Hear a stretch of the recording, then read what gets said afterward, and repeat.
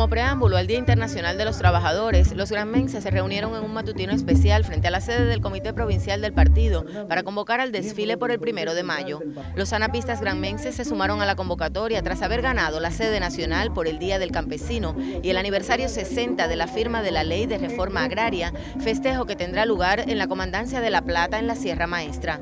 Con jornadas de trabajo voluntario, la Central de Trabajadores de Cuba en Granma impulsa los principales programas de desarrollo del territorio Ayer se hizo un trabajo voluntario en todos nuestros municipios y fundamentalmente primó la siembra de, alimentos. Estuvimos en, fundamentalmente los organopónicos y se hizo buena siembra en cada una de las hectáreas que se nos pusieron para trabajar. Bueno, y esa es la respuesta de los granmenses, de seguir trabajando, seguir aportando, seguir triunfando. Eh. Aquí se convocó también a la unidad y desde el Instituto Cubano de Amistad con los Pueblos se hizo público un llamado al movimiento de solidaridad con Cuba y a las fuerzas progresistas en el mundo para fortalecer los mecanismos de integración en la lucha contra la hegemonía imperial.